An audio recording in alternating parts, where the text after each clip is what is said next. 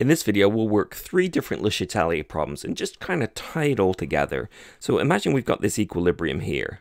So we have N2O4 in equilibrium with 2NO2, and delta H for this reaction is positive 57.2 kilojoules.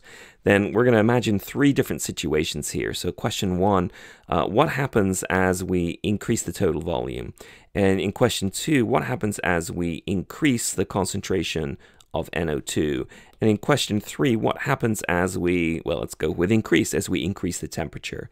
How would all three of these affect the equilibrium? So pause the video and have a go, and then we'll go through it all together. All right, let's go through each of these one by one. So by increasing the volume, essentially via Boyle's law, we've lowered the pressure. So if we've lowered the pressure, that is the stress. So the relief is to try and increase the pressure. All right, so that's our relief. So which way does the equilibrium shift in order to increase the pressure? Well, we need to make more gas molecules. So we're going to cause a shift from the left to the right-hand side. So we're going to see a right-hand side shift. Okay, now if we look at question two, we've increased the NO2 concentration. So that is the stress by itself. So the relief would be to essentially do the opposite. We would want to decrease the concentration of NO2. So how would we do that? Okay, I just snuck and deleted that last arrow. So if we want to decrease the NO2 concentration, we have to take some NO2 and turn it into something else. Not all of it, just some of it. So we're going to see a shift to the left-hand side. So on our ice chart, we would write minus x's under here, and we'd write plus x's under here. If you like, it's almost like q is too large here. And in the last one, we've increased our temperature, so that is the stress. And uh, in actual fact, we can write this a little bit differently. By increasing the temperature, it's like we've added heat.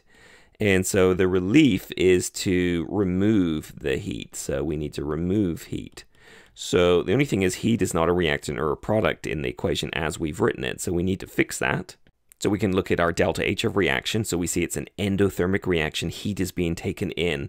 So 57.2 kilojoules is being taken in for every mole of N2O4. So we can write heat on the left hand side is if it's a reactant, so that's what endothermic means. We need to remove some heat, so we can go ahead and we can take some heat and some N2O4 and we can convert it into NO2. Notice on the other side there's no heat, so we've removed heat from the system. So that would be a shift to the right hand side that would also be an increase in the equilibrium constant because in all the other situations the equilibrium constant wouldn't change but since we've changed the temperature the value of K will certainly change because we've increased the NO2 concentration at the expense of N2O4 we've made more products so K would go up. Did you get all of that?